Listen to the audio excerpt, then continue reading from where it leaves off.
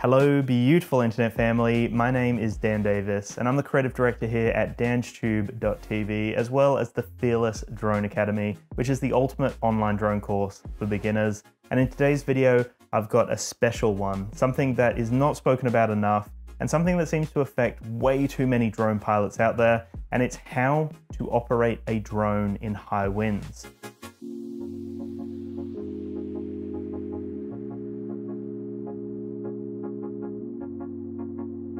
Now, this is something that I see way too many videos on YouTube of people losing their drone because they didn't accommodate for the wind, or they didn't even prepare for different wind conditions, or even know what to do in that situation where there is a lot of wind. You know, they just launched their drone, flew away, and then didn't even think about it, and then they couldn't return their drone, or they had issues with the wind combating their drone's flight. It happens all the time, and I see way too many videos online of people screwing this up, really. So in this video, I'm gonna show you how to operate your drone in high winds. The first thing you want to do is go onto your phone, computer, whatever you have access to, and just search for the drone that you own.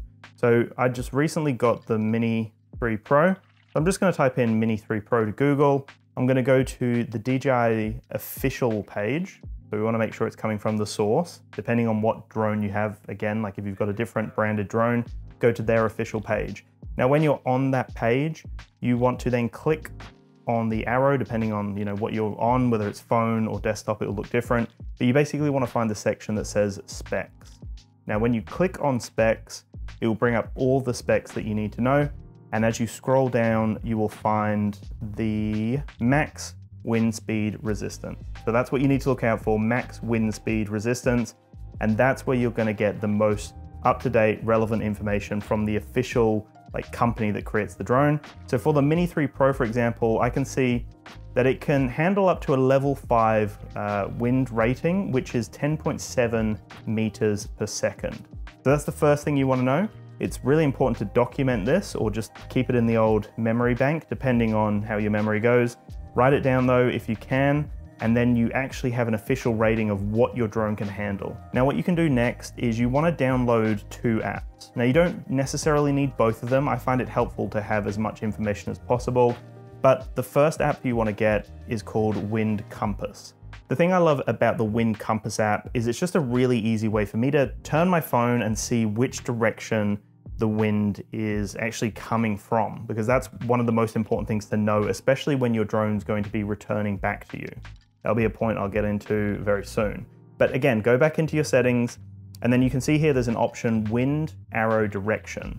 So you can either set it up as blowing to, so the wind is blowing in that direction, or the wind is coming from. So I like coming from, which seems to be the default one when you get uh, the application. So that means that the wind is coming from that direction. So if I turn the compass, I can then see which way the wind is coming from. I also get those ratings there which say 1.6 meter per second winds and then 2.8 meter per second gusts. So that's another really important thing to keep an eye on because gust speed, again, is a worry. A lot of people just look at wind speed, but it's also good to know what the variance will be. You know, if there's some heavy gusts out there that might be over the wind rating that your drone can fly in, really good to know about that and check that before you leave for that location or you know if you're at the location already, just load up the Wind Compass app and just see what the speeds of the actual wind and the gusts are, as well as the direction that the wind is coming from. Just on wind direction, I think that sometimes it can get a little confusing when you, you know, look at the actual settings and it says wind arrow direction blowing to or coming from. Sometimes that can be a little confusing and you know, it's cool to look at this at a glance, but until you get used to it, um, another thing that I would recommend is wherever you are, just pick up leaves or sand or dirt or whatever you can and just throw it into the air and see which way the wind actually takes it. That's a really good indication of where the wind is coming from. And that will also be a, great way to confirm that this is the correct direction. And that's also another good test. Um, so then when you're changing between blowing to and coming from, you can actually then see you know exactly where it's coming from in a physical sense as well as a digital sense, just to make sure that you're not getting confused or mixed up. You then know 100% which way the wind direction is coming from. The second app that I'd recommend is, again, a very handy one that has a bunch of other features. It's called UAV Forecast, and this gives you a lot of options. The first thing though that we wanna see here is we wanna go straight down to wind profile. Now this gives us an idea of what the wind conditions are gonna be in different altitudes. So as you can imagine, like if you're in a sheltered area with a lot of trees, your drone's just hovering here, you're probably thinking, oh, it's not moving much, you know, it must be fine. But then straight when you go above the tree line, you're gonna see potentially, unless you just fly away, you'll see your drone moving a little bit more because it's above that tree line and it's not sheltered. So this application gives you just an example of like what wind speed and gust speed looks like um, at different altitudes. This is just another nice visual and it's good to like check on here as well as the wind compass just to confirm that everything is, you know, 100% and that it hasn't accidentally got location wrong or that it's, you know, not up to date or there's something wrong going on like a bug in the application. It's always nice to have the two applications and just check them before you start flying. I do have a really cool free resource that you can get from the Fearless Drone Academy's website. If you just go over there, scroll down and find the newsletter section, sign up for that, then you'll actually receive the pre-flight checklist that is exclusive to the Fearless Drone Academy, but it's a free resource when you sign up to that newsletter. That could be a really good thing to do. Then you can write the wind speed in the top corner, you can maybe put like the wind direction as well. So you've then got everything set up for each flight on just one printout and then then gives you a chance to then go through and check everything off to make sure that you're ready to fly. So you've now figured out the wind rating that your drone can handle. You've checked on the two apps, you've checked the UAV forecast and the wind compass application. You're now out on the field, ready to fly your drone. And then once it is all set up and ready to go, before you even start flying away to a new location or even thinking about getting videos or photos, especially if it is a relatively windy day, because this is all about high wind speeds. And I see, again, way too many people flying in crazy conditions and not being prepared. So what you wanna do is once your drone is set up, you wanna launch it and you just wanna monitor it. You wanna monitor the behavior of the drone. Now, depending again on the wind speed or the gust speed, you will see your drone moving around a fair bit because it's trying to counter all that wind that's hitting it. So you just want to check and make sure that it actually is still holding the same position. Sometimes what can happen if it's really, really windy, you'll find the drone will start drifting a little bit. So you want to make sure that it's at least staying in the same kind of position. And now monitor it for any sort of weird sounds that sound a little bit odd, or if you're hearing that it's just really struggling and you're noticing it's erratically moving up and down, back and forth, side to side, and it can't hold its position, that could be a good indicator that it's actually just not worth flying. Because that's another thing that I'll get onto soon. Like, if the wind is not favorable and if it's way too crazy, there is just an option to not fly. That's the best option if the wind conditions are unpredictable just keep your drone safe and wait for a different day. Now that you've had the drone hovering for a couple of minutes just to see how it's behaving, you then want to make sure that as you're putting inputs into the controller, so as you're turning right and left and as you're going up and down, make sure that the drone is responding to the controller as you would expect it to, and even flying side to side or back and forth, that will give you an indicator of how the drone's going to perform with the wind. So again, remember we're in potentially like a secluded spot, you might be you know, surrounded by trees or something. So it's not going to be as realistic as when you get up above the tree line, but it at least shows you how the drone is going to handle the wind. And also so you have some awareness around how the drone will actually control with different conditions. And now the next thing I would recommend is literally just launching the drone up. So again, if you're in an area where there's lots of trees, just launch it up above the tree line. But while it's there hovering, make sure to monitor it. Again, a lot of people, they just fly away without even checking how the drone's performing, potentially in some crazy wind conditions. They just go, yeah, the drone will be fine, just send it off, which is insane to me because you're not even prepared for, you know, the worst case scenario. So you want to launch above the tree line and just again hover and monitor the behavior of the drone. See how it's going, see if it's holding its position. Again, this is a really good indicator. If it starts drifting and you notice the drone just drifting off to one side, it could be too windy for the drone. So in that situation, if you have a gut instinct that the drone's just drifting off and you're noticing it getting close to trees and you're getting a bit nervous, maybe it's not worth flying, especially if it's getting close to what the wind rating is. So with the Mini 3 Pro, it was what, um, 10.7 meters per second.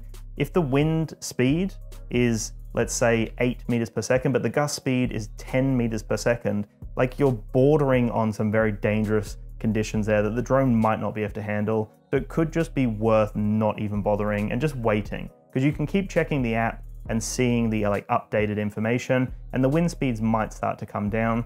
It's just worth not flying in those kind of situations, especially if you're feeling really nervous.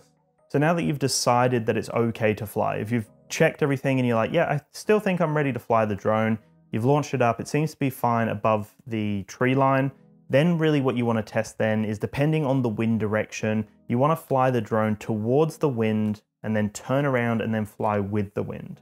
Now you want to get used to this because as I'm going to get onto next, wind direction is really crucial here, especially if battery life is getting low and you're trying to fly directly against some strong wind. The drone's going to take a lot longer to get back to you. And especially some of these mini drones, like this is the Mini SE, it might not be able to battle that wind. And by the time it gets back to you, the battery might not have enough juice and it could just, you know, fall out of the sky or have like a, a forced landing potentially. So you do not want that to happen at all. You want to make sure that you know what the drone is like directly against the wind, even like take a note of how fast it can go against the wind.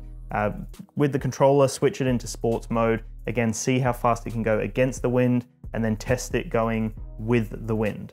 So again, with your going with the wind, you're going to be going a lot faster. And ideally, when you want to return the drone, you want to be using the wind to push you back to where you can actually land the drone. So this is the Mini SE controller. It doesn't actually have like a little toggle or a switch to go between the different flight modes, but you also want to test sports mode because you want to get used to, you know, in those situations where you need to get the drone back and maybe you've left it just a little too long, um, you need to know what it's like to switch into sports mode and then use the wind to propel you back to that spot that you want to land in. So test again with the sports mode what the drone's like flying against the wind and then with the wind Again, take a, a reading, write down how fast it's actually flying, so you have a sense of you know, how long it's roughly going to take you to fly back to the location you want to land in. The next tip is something that people do not do enough of, and it's just monitoring the battery life. Like it sounds like such an obvious one, but again, I've seen a lot of videos online of people flying their drone out over a coastline or out into the middle of wherever, and there's so much wind hitting that drone. So then as they try to fly back, they just physically don't have the battery life, so it forces the drone to try to land in either the water or the middle of like a bush or a jungle or wherever they're flying. It's just ridiculous because if you're prepared for that, you know what it's like, how long it's going to take to actually fly back to your location, how the drone's going to perform. And if you're well and truly prepared for these situations, then you don't have to worry about it at all because you're going to be aware that it takes roughly, you know, this long to get back to me if I'm flying with the wind and for example, if you're flying against the wind, which is fine, you just need to make sure that you've got enough battery life on the controller. You're checking the controller battery life as well as obviously the drone's battery life and making sure that you've got enough time to get you back. Again, it all comes down to those early stages of preparing yourself, knowing how fast the drone can fly against the wind in sports mode and in normal mode, and to see if there's a way that you can start flying over the other direction, for example, so that when you're ready to return, you're then using the power of the wind to send you back.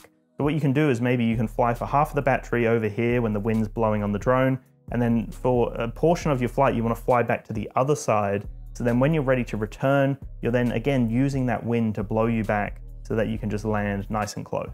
And that's basically everything you need to know to ensure that you're not going to have any issues with the wind. And it's exactly how you can operate a drone in high winds. If the winds are too high, do not bother at all. Just make sure that you, you know, go home and compose yourself and then come back later on. Keep checking the apps if the wind goes down or just leave it for the next day. Again, one flight, I'm sure you can wait for the next day. And that one flight could be the flight, well, sorry, not the two, the one flight could be the flight that you actually lose the drone or it can't return to you because the wind is too crazy.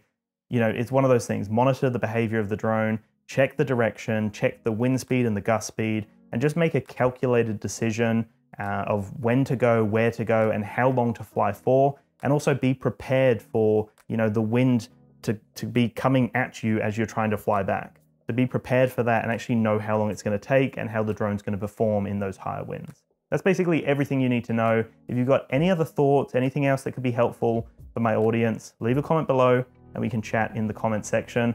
I'll chat to you in the next video though. Thank you so much for watching and I'll see you soon. Peace. You think you're too far, but I'm where you are,